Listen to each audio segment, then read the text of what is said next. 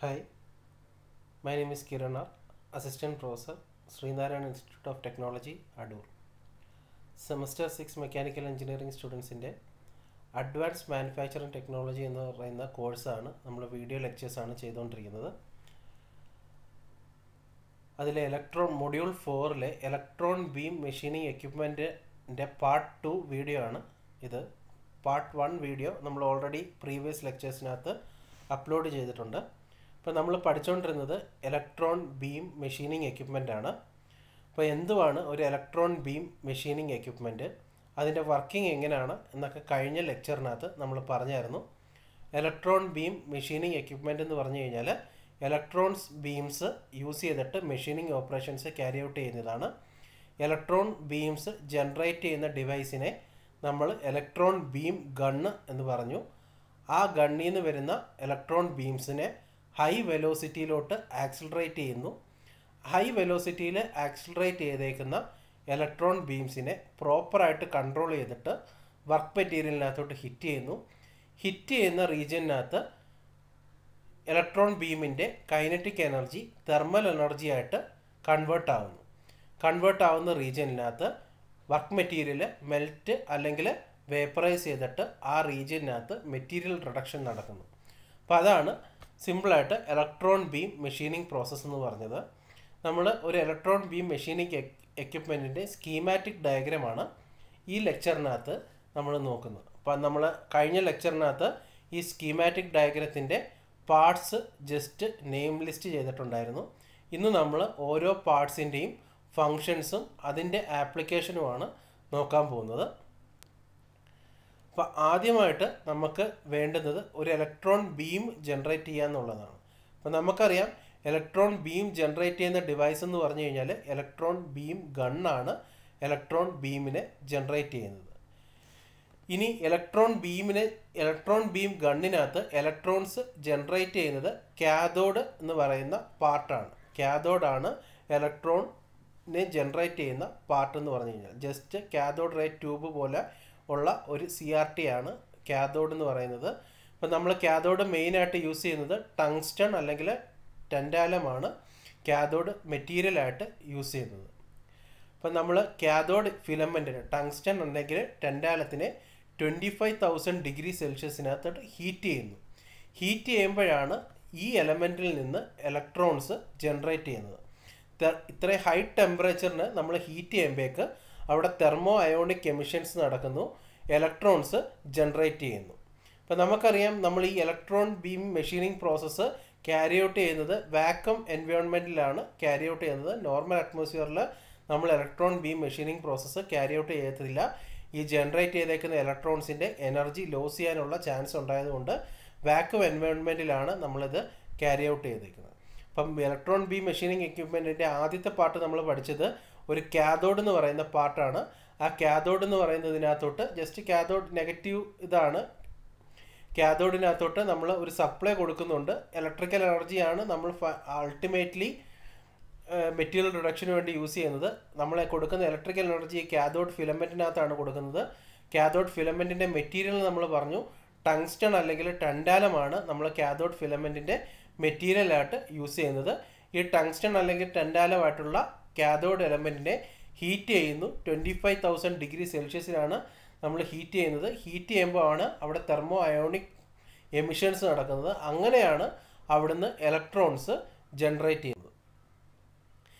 ഇനി ഈ കാഥോഡ് നമ്മൾ ഞാൻ പറഞ്ഞു കാഥോഡാണ് നമുക്ക് ഇലക്ട്രോൺസ് എമിറ്റ് ചെയ്യുന്ന പാർട്ടെന്ന് പറഞ്ഞു. ഈ കാഥോഡ് സാധാരണയായിട്ട് നമ്മളൊരു കാട്രഡ്ജ് ഫോമിലാണ് ഇതിനകത്തോട്ട് ഇലക്ട്രോൺ ബീം ഗണ്ണിനകത്തോട്ട് ഇൻസ്റ്റാൾ ചെയ്യുന്നത്. എന്തുകൊണ്ടാണ് കാട്രഡ്ജ് അല്ലെങ്കിൽ ഒരു ഒരു ബാറ്ററി പോലെ ഇൻസ്റ്റാൾ ചെയ്യുന്നത് അത് കാട്രഡ്ജ് എന്ന് ഉദ്ദേശിച്ചു കഴിഞ്ഞാൽ എന്തുകൊണ്ടാണ് നമ്മൾ അത് ഒരു കാട്രഡ്ജ് ഫോമിനകത്തോട്ട് യൂസ് ചെയ്യുന്നത്? സപ്പോസ് എന്തെങ്കിലും ഒരു ഫെയിലിയർ സംഭവിച്ചു കഴിഞ്ഞാൽ പെട്ടെന്ന് നമുക്ക് ആ പാർട്ട് റീപ്ലേസ് ചെയ്യാൻ വേണ്ടിയാണ് നമ്മൾ കാതോട് സാധാരണയായിട്ട് കാട്രഡ്ജ് പോലെ നമ്മൾ യൂസ് ചെയ്യുന്നത്. അപ്പോൾ പെട്ടെന്ന് ആ പാർട്ടിന് എന്തെങ്കിലും ഒരു ഫെയിലിയർ വന്നു കഴിഞ്ഞാൽ നമുക്ക് പെട്ടെന്ന് വേറൊരു കാതോഡ് കാട്രഡ്ജ് ഇൻസേർട്ട് ചെയ്തിട്ട് മെഷീനിങ് ഓപ്പറേഷൻസ് ക്യാരി ഔട്ട് ചെയ്യാൻ പറ്റും. ഇനി ഈ കാഥോഡ് കാട്രിഡ്ജ് സാധാരണയായിട്ട് നെഗറ്റീവ്ലി ബയാസ്ഡ് ആണ് നമ്മൾ ചെയ്യുന്നത്. നെഗറ്റീവ്ലി ബയാസ്ഡ് നെഗറ്റീവ്ലി ചാർജ് ചെയ്യുന്നതിന്റെ കാര്യം എന്ന് പറഞ്ഞു കഴിഞ്ഞാൽ ഇലക്ട്രോൺസ് എമിറ്റ് ചെയ്തേക്കുന്ന ഇലക്ട്രോൺസിനെ പുറത്തോട്ട് റിപ്പൽ ചെയ്യാൻ വേണ്ടിയാണ് നമ്മൾ നെഗറ്റീവ്ലി ബയാസ്ഡ് ചാർജ് കൊടുക്കുന്നത്. ഇതാണ് ആദ്യത്തെ പാർട്ട് ആദ്യത്തെ പാർട്ടാണ് കാഥോഡ് കാട്രിഡ്ജ് ഇലക്ട്രോൺസിനെ ജനറേറ്റർ ജനറേറ്റ് ചെയ്യുന്ന റീജിയൻ ആണ് അവിടെ. നെഗറ്റീവ്ലി ബയാസ്ഡ് ആണ് ഇലക്ട്രോൺസ് പുറത്തോട്ട് എക്സ്പെൽ ചെയ്യാൻ വേണ്ടിയാണ് നമ്മൾ നെഗറ്റീവ്ലി ബയാസ്ഡ് കൊടുത്തേക്കുന്നത്. അത് കഴിഞ്ഞിട്ട് വരുന്ന നെക്സ്റ്റ് പാർട്ടാണ് annular bias grid annular bias grid എന്ന് പറഞ്ഞു കഴിഞ്ഞാൽ ജസ്റ്റ് ഒരു ആനോഡാണ് ആനോഡാണ് പോസിറ്റീവ് ടെർമിനലാണ് അപ്പോൾ ആനോഡ് എന്ന് പറയുന്ന ആ ഒരു റീജിയന്റെ ഫങ്ഷൻ എന്ന് പറഞ്ഞു കഴിഞ്ഞാൽ ജനറേറ്റ് ചെയ്തേക്കുന്ന ഇലക്ട്രോൺസിനെ ആക്സിലറേറ്റ് ചെയ്യുക. നമ്മുടെ മെയിൻ ഫങ്ഷൻ ഹൈ വെലോസിറ്റിയിൽ ഇലക്ട്രോൺ ബീംസ് വർക്ക് മെറ്റീരിയലിനകത്ത് ഹിറ്റ് ചെയ്യിക്കുക എന്നുള്ളതാണ്. ഇപ്പം ആനോഡ് ചെയ്യുന്നത് സെക്കൻഡ് പാർട്ട് ആനോഡ് ചെയ്യുന്നതെന്ന് പറഞ്ഞു കഴിഞ്ഞാൽ നമ്മുടെ ഇലക്ട്രോൺ കാതോഡിൽ നിന്ന് ജനറേറ്റ് ചെയ്തേക്കുന്ന ഇലക്ട്രോൺസിനെ ആക്സിലറേറ്റ് ചെയ്യുക അതിനെ പ്രോപ്പറായിട്ട് ഗൈഡ് ചെയ്യുക എന്നുള്ളതാണ് രണ്ടാമത്തെ പാർട്ടായ ആനുലാർ ബയാസ് ഗ്രിഡ് ചെയ്യുന്നത്. ഇനി ഇത് ആക്സിലറേറ്റ് ചെയ്തേക്കുന്നതിന്റെ വെലോസിറ്റി എന്ന് പറയുന്നത് ഓൾമോസ്റ്റ് അല്ലെങ്കിൽ nearest half the velocity of light ആണ് നമ്മൾ അറ്റൈൻ ചെയ്യുന്നത്. അപ്പം അത്രയും ഹൈ വെലോസിറ്റിയിലാണ് ഈ മെറ്റീരിയൽ വർക്ക് മെറ്റീരിയലിനകത്തോട്ട് അല്ലെങ്കിൽ ഈ ഇലക്ട്രോൺ ബീം വർക്ക് മെറ്റീരിയലിനകത്തോട്ട് ചെയ്യുന്നത്.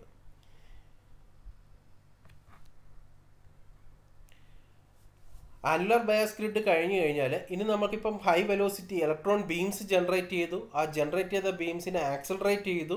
ഇനി മൂന്നാമത്തെ സ്റ്റേജിനകത്ത് നമുക്ക് ചെയ്യാനുള്ളത് ഇതിനെ പ്രോപ്പറായിട്ട് കൺട്രോൾ ചെയ്ത് നമ്മുടെ ഡിസൈഡ് വർക്ക് മെറ്റീരിയലിന്റെ ലൊക്കേഷനിലോട്ട് ഫോക്കസ് ചെയ്യിക്കുക എന്നുള്ളതാണ് അടുത്ത സ്റ്റേജ് അപ്പോൾ ഈ സ്റ്റേജ് ക്യാരി ഔട്ട് ചെയ്യുന്നത് മാഗ്നറ്റിക് ലെൻസസും അപ്പർച്ചേഴ്സും യൂസ് ചെയ്തിട്ടാണ് ഈ സ്റ്റേജസ് ക്യാരി ഔട്ട് ചെയ്യുന്നത്. അപ്പം മാഗ്നറ്റിക് ലെൻസസ് എന്താണ് ചെയ്യുന്നതെന്ന് പറഞ്ഞു കഴിഞ്ഞാൽ ഈ ഇലക്ട്രോൺ ബീമിനെ ഡൈവേർജ് ചെയ്യാതെ കൺവേർജ് ചെയ്ത് വെക്കുന്ന ഡിവൈസുകളാണ് മാഗ്നറ്റിക് ലെൻസസ് എന്ന് പറയുന്നത് ഈ ലെൻസസ് യൂസ് ചെയ്തിട്ട് ഈ ബീം ഡൈവേർജ് ചെയ്ത് പോകാതെ അതിനെ കൺവേർജ് ചെയ്ത് കറക്റ്റ് ആ പോയിന്റിലോട്ട് ഫോക്കസ് ചെയ്യിക്കുക എന്നുള്ളതാണ് മാഗ്നറ്റിക് ലെൻസസിന്റെ ഫങ്ഷൻ എന്ന് പറയുന്നത്. ഇനി അപ്പർച്ചസ് ചെയ്യുന്നതെന്ന് പറഞ്ഞു കഴിഞ്ഞാൽ അപ്പർച്ചസ് ചെയ്യുന്നതെന്ന് പറഞ്ഞു കഴിഞ്ഞാൽ കൺവേർജ് അല്ലെങ്കിൽ കൺവേർജ്ഡ് ഇലക്ട്രോൺസിനെ മാത്രമേ അപ്പർച്ചേഴ്സിനകത്തോട് കൂടി അകത്തോട്ട് കയറ്റി അത് ജസ്റ്റ് ഒരു ഓപ്പണിംഗ് ആണ്. അഥവാ ഡൈവേർജ് പോയേക്കുന്ന ഇലക്ട്രോൺസ് ഉണ്ടെങ്കിൽ അത് അപ്പർച്ചേഴ്സിന്റെ വാൾസിനകത്ത് ഹിറ്റ് ചെയ്തിട്ട് അപ്പർച്ചർ എന്ന് പറഞ്ഞാൽ ജസ്റ്റ് ഒരു ഓപ്പണിംഗ് ആണ്. കറക്റ്റ് ഡൈവേർജ് കൺവേർജ്ഡ് ആയിട്ടുള്ള ബീംസ് മാത്രം അപ്പർച്ചറിനകത്തൂടെ കയറിപ്പോകുന്നു ഡൈവേർജ് ആയിട്ടുള്ള ഇലക്ട്രോൺ ബീംസ് അപ്പർച്ചറിന്റെ വാൾസിനകത്ത് അല്ലെങ്കിൽ അതിന് പുറമേ ഉള്ള റീജിയനകത്ത് ഹിറ്റ് ചെയ്തിട്ട് ലോസ് ആയി പോകുന്നു. അങ്ങനെയാണ് ഇത് കൺട്രോൾ ചെയ്യുന്നത്. അപ്പോൾ ആ മൂന്നാമത്തെ റീജിയനായ മാഗ്നറ്റിക് ലെൻസസും അപ്പർച്ചറും ചെയ്യുന്നത് പ്രോപ്പർ കൺട്രോളിംഗ് ആണ്. മാഗ്നറ്റിക് ലെൻസസ് ചെയ്യുന്നത് ഇലക്ട്രോൺ ബീമിനെ കൺവേർജ് ചെയ്യുന്നു. അപ്പർച്ചർ ചെയ്യുന്നത് പ്രോപ്പർ ആയിട്ടുള്ള കൺവേർജ് ആയിട്ടുള്ള ഇലക്ട്രോൺ ബീംസ് മാത്രം ഫിൽട്ടർ ചെയ്ത് അകത്തോട്ട് പോകുന്നു. ബാക്കിയുള്ളത് എക്സ്പെൽ ചെയ്ത് പോവുകയാണ് ചെയ്യുന്നത്. അല്ലെങ്കിൽ കറക്റ്റ് വർക്ക് മെറ്റീരിയലിനെ ഹിറ്റ് ചെയ്യാതെ അതിനെ എക്സ്പെൽ ചെയ്യുകയാണ് ചെയ്യുന്നത്. ലാസ്റ്റ് സെക്ഷനാണ് ഇലക്ട്രോ മാഗ്നറ്റിക് ലെൻസസും ഡിഫ്ലക്ടർ കോയിൽസും ഇലക്ട്രോ മാഗ്നറ്റിക് ലെൻസസും ഡിഫ്ലക്ഷൻ കോയിലുമാണ് നമ്മുടെ ഡിസൈഡ് സ്പോട്ടിലോട്ട് കറക്റ്റായിട്ട് ഇതിനെ ഫോക്കസ് ചെയ്യുന്നത്. കറക്റ്റ് കൺട്രോൾ നടക്കുന്നത് ഇലക്ട്രോ മാഗ്നറ്റിക് ലെൻസസും ഡിഫ്ലക്ഷൻ കോയിലിനകത്തുമാണ് ഈ കറക്റ്റ് കൺട്രോൾ നടക്കുന്നത്.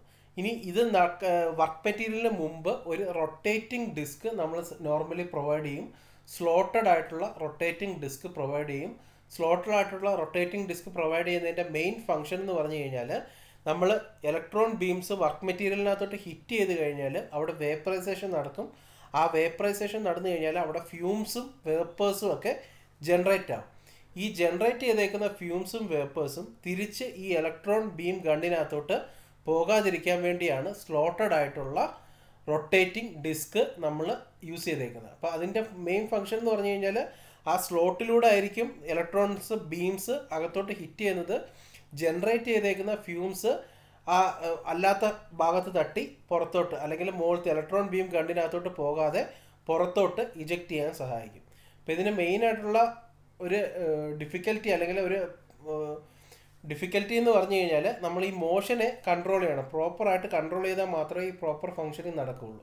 അപ്പോൾ ആ മോഷനെ സിങ്ക്രണൈസ് ചെയ്യാമെന്നുള്ള ഒരു ചലഞ്ചും കൂടി നമുക്കുണ്ട്.